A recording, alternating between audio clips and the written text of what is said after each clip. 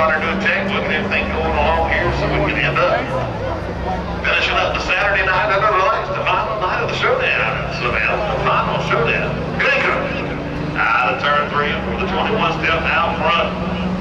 Shea Stafford is going to be responsible for the restart. There we go.